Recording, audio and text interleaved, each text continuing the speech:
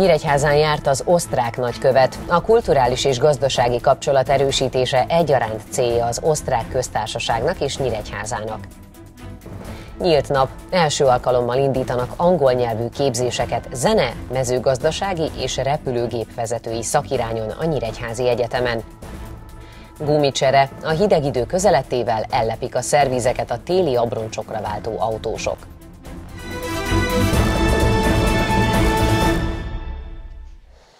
A kulturális és gazdasági kapcsolat erősítése egyaránt célja az osztrák köztársaságnak és Nyíregyházának. A Kölcsei Televízió híradóját látják. Köszöntöm Önöket! Ezt az osztrák köztársaság rendkívüli és meghatalmazott budapesti nagykövete mondta első nyíregyházi látogatása során.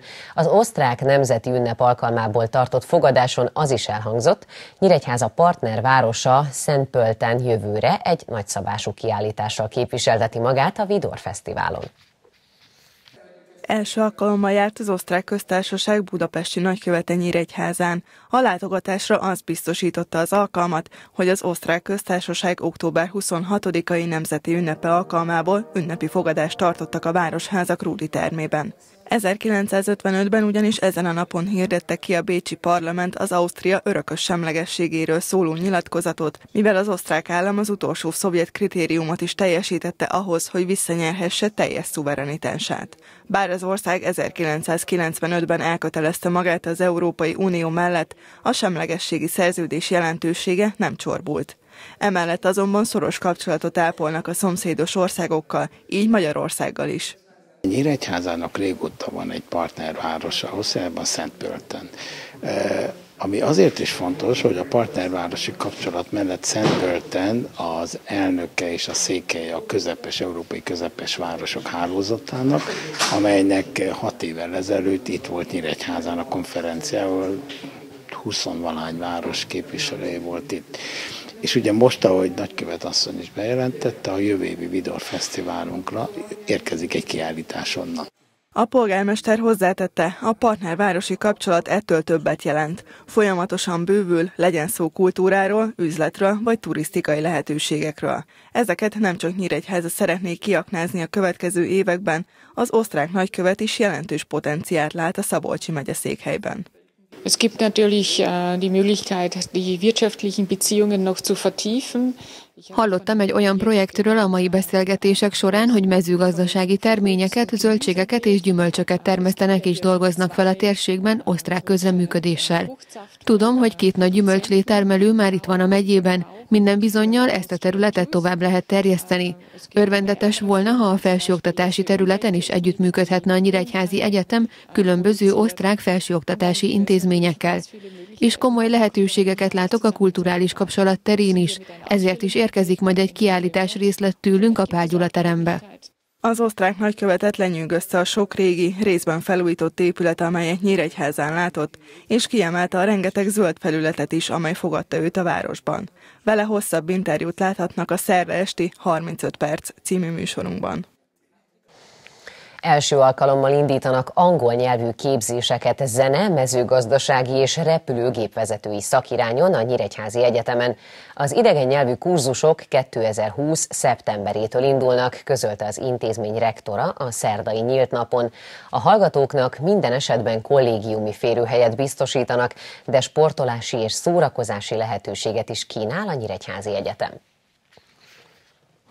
Jó közösség, élhető közelség, praktikus tudás. Ezzel a mottóval várták a diákokat a Nyíregyházi Egyetem nyílt napjára szerdán. A Kodály terem megtelt az érdeklődő középiskolás diákokkal, tanáraikkal és szüleikkel. Az intézmény magas színvonalú képzést ígér a leendő hallgatóinak, jól kiépített infrastruktúrával. Amit mi biztosítani tudunk, minden diáknak kollégiumot tudunk adni, sportolási, szórakozási lehetőségeket tudunk adni, és új szakokat indítunk. Kiemelném itt, ami a legfontosabb, angol nyelvű képzéseket fogunk indítani, a zene kultúra kórusének és a mezőgazdasági mérnök, gépészmérnök szakirányon, illetve a repülőgép vezetői szakirányon, szakirányú továbbképzésen is indítunk angol nyelvű képzést. Jelenleg körülbelül 3700-4000 hallgató tanul a Nyíregyházi Egyetemen. Az osztatlan tanárszakon például 52 szakpárt indítanak a következő évben, de az intézmény 12 intézetében több száz szakon tanulhatnak a diákok. Várják azok jelentkezését is, akik levelező szakon szeretnék a tanári hivatást elsajátítani. 2020. szeptemberétől ezt is megtehetik. A Nyíregyházi Egyetem egyik fő profilja a tanárképzés, de kiemelkedő még a műszaki, a gazdasági és a szociális képzés is. Kiemelném még az ösztöndíjainkat. A pedagógikum területére érkező diákok Lébezbe ösztöndíjat kaphatnak, illetve a Magyar Nemzeti Bankkal egy olyan szerződésünk van, hogy ők a kiemelkedő tanulmányi eredményeket elérő hallgatókat ösztöndíjban részesítik, és hogy mivel tudjuk, hogy ugye a gazdasági szakokon többnyire önköltséges hallgatók vannak, tulajdonképpen az ösztöndíjjal kiválthatják az önköltségüket, és úgymond ingyenesen tanulhatnak. Ehhez hasonló havi 30 ezer forintos ösztöndíj országos szinten mindössze három felsőoktatási intézményben érhető el. További előnye a Nyíregyházi Egyetemnek, hogy lehetőséget kínál a hallgatók számára, hogy az Erasmus program keretében külföldön tanuljanak, három hónapos időszaktól akár egy egész éven át. Az elmúlt évek tapasztalatai azt mutatják, hogy a pályázók közül mindenki lehetőséget kap erre, tette hozzá az intézmény rektora.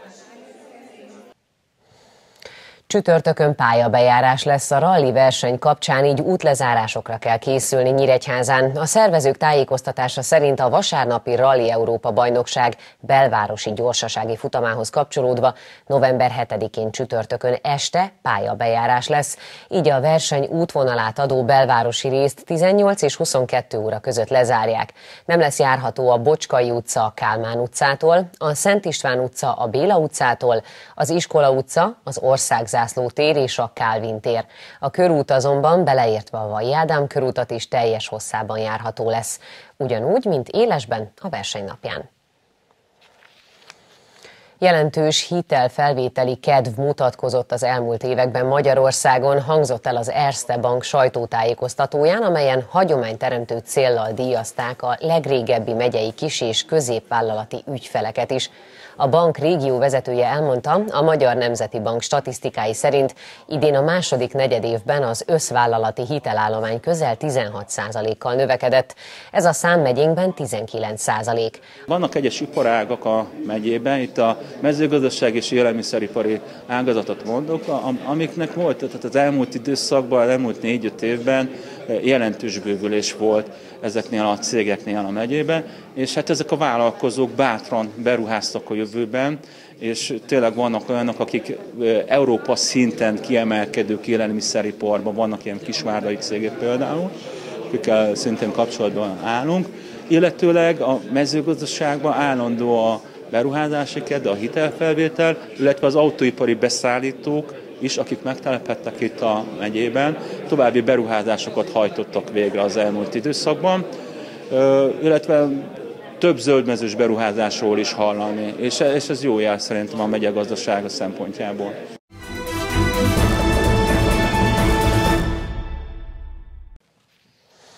A hideg idő közelettével valóságos roham kezdődik az autószervizekben. Sokan megvárják, míg leesik az első hó, és csak utána cseréltetik le járműveik gumiait. Bár a váltás nem kötelező, a szakértők szerint fontos, hogy mindig az adott évszaknak megfelelő abroncsokkal közlekedjünk. Sok autó még a nyári gumik vannak fenn, több járművezető viszont időben kapcsolt és már begurult a szervizekbe lecseréltetni az abroncsokat. Ebben a nyíregyházi műhelyben ott jártunkkor is egymás váltották az autósok.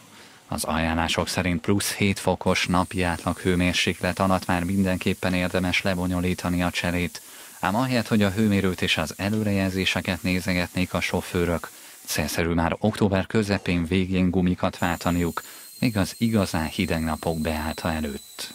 Nem feltétlenül kell megvárnunk azt a pontot, amikor mi vagyunk a 147-ek a sorban, hogy a téli gumit lecseréltessük, és már tűkön ülünk, mert mennénk a munkahelyre. Tehát időben célszerű ezt megcsinálni. Nem lesz olyan nagy az a gumikopás. Ez egy nagyon érdekes és nagyon bő téma egyébként ez a téli gumi történet, hiszen nagyon sokfajta téli gumi van ártól, mintázattól, anyagtól függően, és azért azt tudni kell, hogy a mai világban már a téli guminak nem a mintázata számít elsősorban, hanem az anyag összetétele. Tehát ugyanazon mintázat esetén egy nagyon jó összetételű anyag sokkal nagyobbat fog idézőjelben, tehát sokkal biztonságosabb lesz, mint egy hagyományos, régebbi kikeverésű anyag. A választék tehát széles. A Bridgestone friss felmérése szerint a férfi és női autósok eltérő szempontok alapján hozzák meg a döntést. Újabb roncsok vásárlásakor a férfiak 61%-a elsősorban az interneten felelhető forrásokból tájékozódik. Ezzel szemben a női kitöltők közel fele nyilatkozott úgy, hogy szívesebben hagyatkozik a szakemberek véleményére. A szervizekben mindenkit ellátnak tanácsokkal. Mi javasoljuk mindenféleképpen, hogy az adott megtett téli kilométerhez válaszunk gumiabroncsot, és ehhez teszünk javaslatot is. Nyilván ez a vevőnek az elfog, elfogultságán, vagy éppen hozzáállásán múlik, hogy melyiket fogadja el. Döntő többsége az a tapasztalatunk, hogy megfogadják ezt a tanácsot, amit javasolunk. Tehát kilométerhez és egy ár-minőség arányt javasolva szerintem optimális tévéabroncsal lehet számolni. Ezen a helyen egyébként minősítik minden abroncs állapotát, és felhívják az autó tulajdonosok figyelmét, mikor érdemes újra cserélni a régi gumikat. Mint Ignéci Ferenc elmondta, 4 mm-es profilmészségű téli abroncsnál már el kell gondolkodni a váltáson, emellett a gumi keménységére sem árt odafigyelni. A 60-as számot, hogyha megjegyezzük, ez az optimális keménység az abroncsnak. Amikor ez a szám 80-hoz közeli, vagy azt meghaladó, akkor az a téli abroncs már 8 mm-es csatornamélységnél sem téli abroncs, tehát megnő a fékút hossza, a autó esetleg főleg a hátsó alulkormányzott vagy felülkormányzott abroncsok miatt kitörhet, hamarabb kitör, tehát csúszik, mintha egy üvegfelületen működne az abroncs, talán rosszabb, mint a vízen való futás vagy csúszás. A legfontosabb, hogy mindig az évszaknak megfelelő gumikon közlekedjünk. A szakértők elmondása szerint csodát azért senki ne várjon a téli abroncsoktól. A balesetek elkerülése érdekében vezessen velük mindenki úgy, mintha egy kopott nyári gumival tenné. A rendőrség egyébként a csere elmaradásáért nem büntethet, az ugyanis nem kötelező hazánkban, de lehet ennek következménye.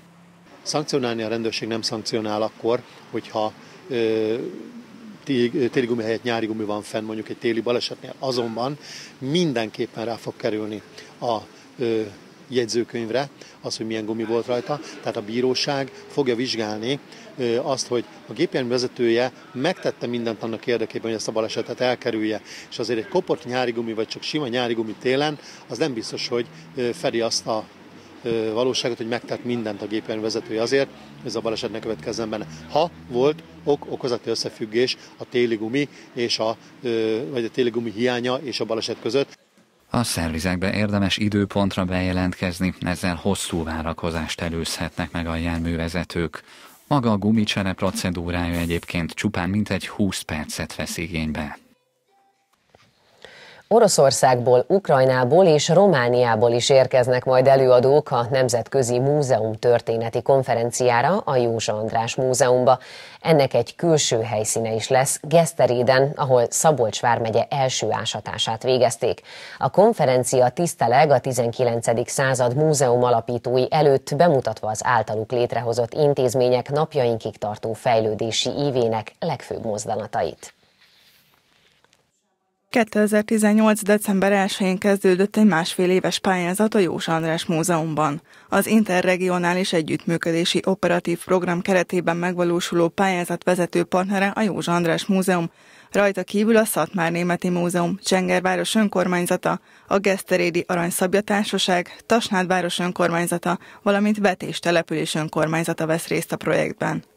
A pályázat alapvető célkitűzése az volt, hogy a múzeumokban őrzött több százezres tár, több százezres számú tárgyakat, műkincseket, műtárgyakat be tudjuk mutatni olyan formán a közönségnek, hogy ez gyakorlatilag közkincs legyen, és akár otthonul is online formában tudják ezeket nézni, információt szerezni róluk.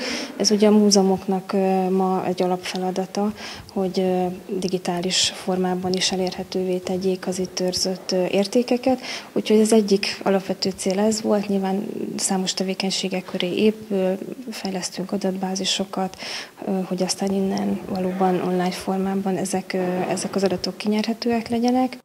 Emellett számos tevékenységet végez a Józsa András Múzeum, amelyek ehhez plusz információkat nyújthatnak.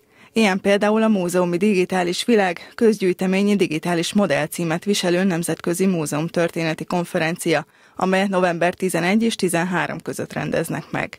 Ezen orosz múzeumi képviselők is részt vesznek majd, de a szomszédos országok is képviseltetik magukat. Nagyon sok a romániai résztvevő, ez nem véletlen, hiszen Gyulafehérváron volt az előzménye. Természetesen Magyarországról vannak, Ukrajnából, és a témák is rendkívül szertágazóak, ami megint csak nem véletlen.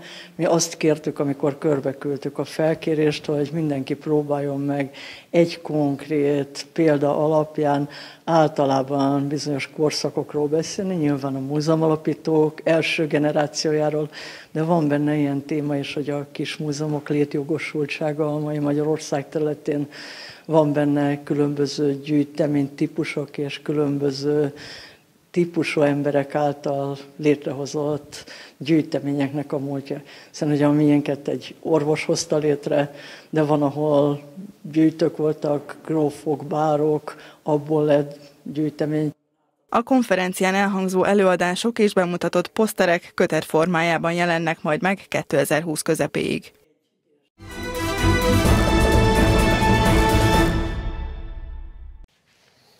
Hazaérkezett Lengyelországból Tölgyes Dorottya, aki a csapatversenyben valamennyi ellenfelét legyőzve segítette aranyéremhez az Európa válogatottat a serdülő világbajnokságon.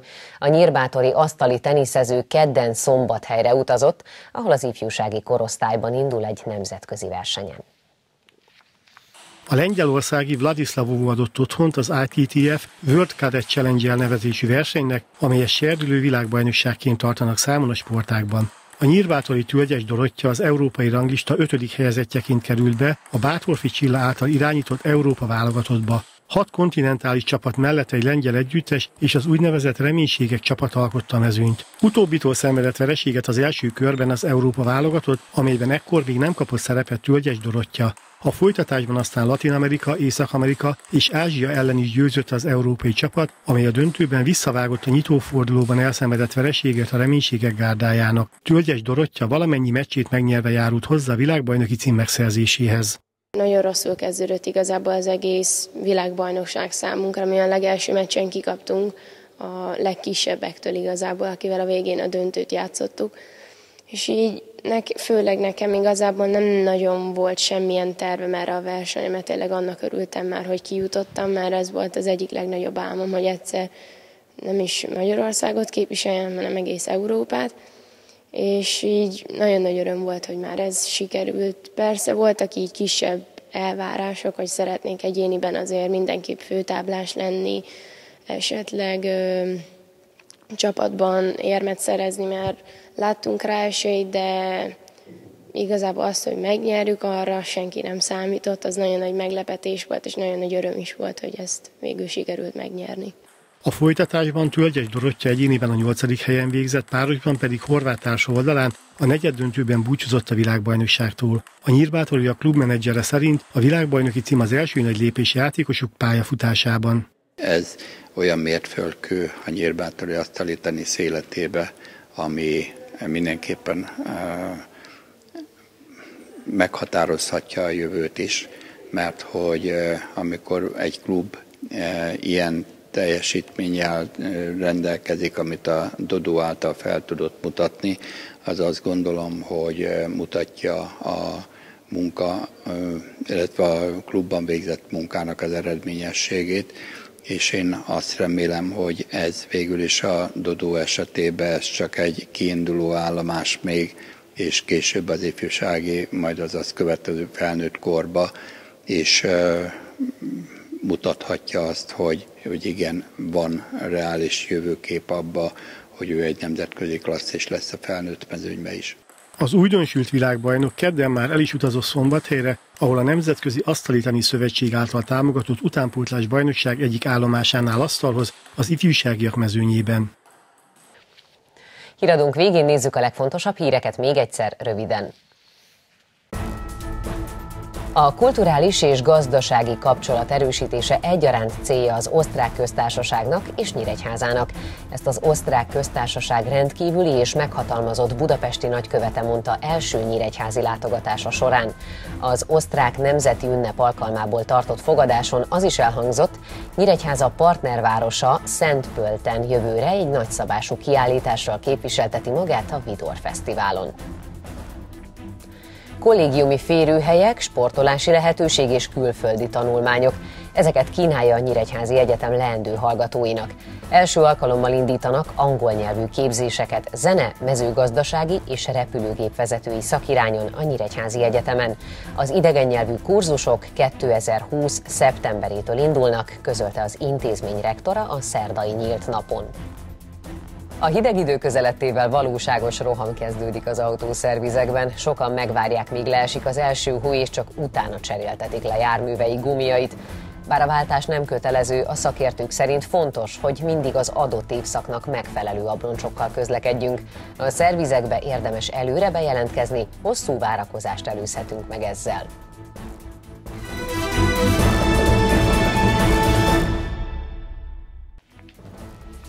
Önök a Kölcsei Televízió híradóját látták november 6-án szerdán. Friss hírekkel legközelebb holnap este várjuk majd Önöket. Tudósításainkat addig is visszanézhetik a weboldalunkon.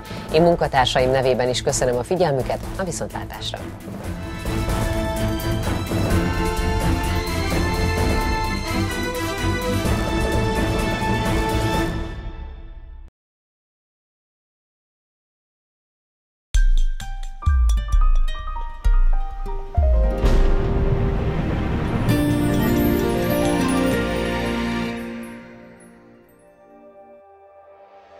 Szerdán az éjszaka második felétől megvastagszik a felhőzet, eső, zápor egyaránt előfordulhat, a nyugati szél helyenként megélénkül, majd mérsékelt, változó irányú szél lesz a jellemző, a legalacsonyabb éjszakai hőmérséklet 8 fok körül alakul. Csütörtökön eleinte többnyire erősen felhős lesz az ég, majd felszakadozik, csökken a felhőzet, eső, zápor egyaránt előfordulhat, a változó irányú szél gyenge vagy mérsékelt marad, a legmagasabb nappali hőmérséklet 14 fok körül alakul. A következő napokban is folytatódik a változékony időjárás. A gyakran erősen megnövekvő felhőzetből majd minden nap kell csapadékra számítani. A hőmérsékletben jelentős változás nem várható, nagyjából az ilyenkor szokásosnak megfelelően, vagy kisé enyhébben alakulnak a csúcsértékek.